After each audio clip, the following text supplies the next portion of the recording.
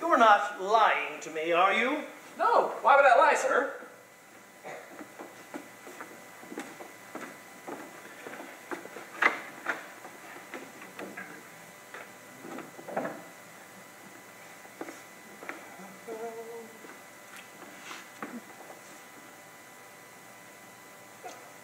Here, take this.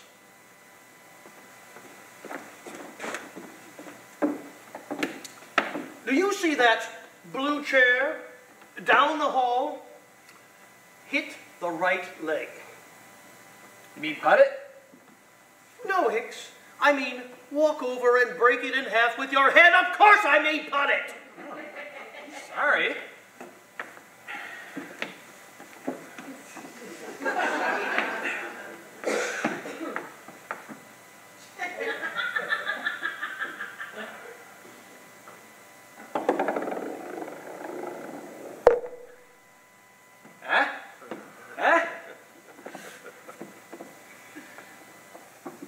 Do it again.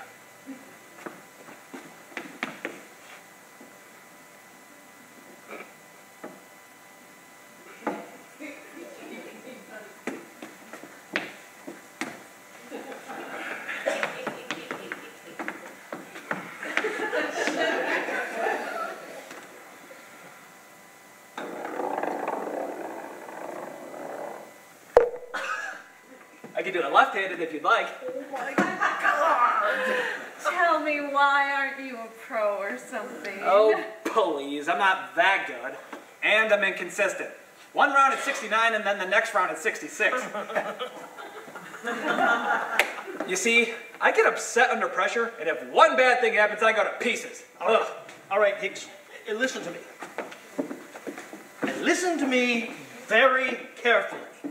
You are going to play for Quail Valley today in the Interclub tournament, and it starts in less than 10 minutes.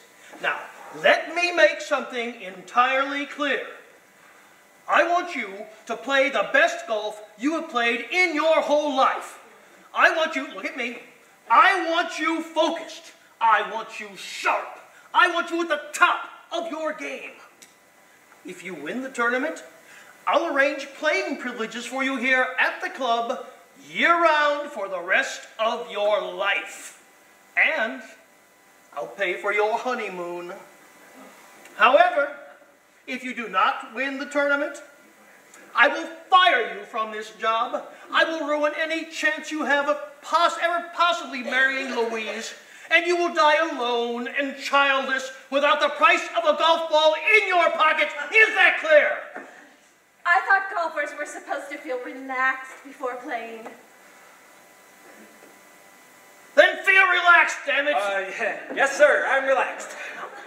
now go down to the pro shop, pick some clubs and an outfit, charge it to me. Uh, you, sir? Yes. Oh,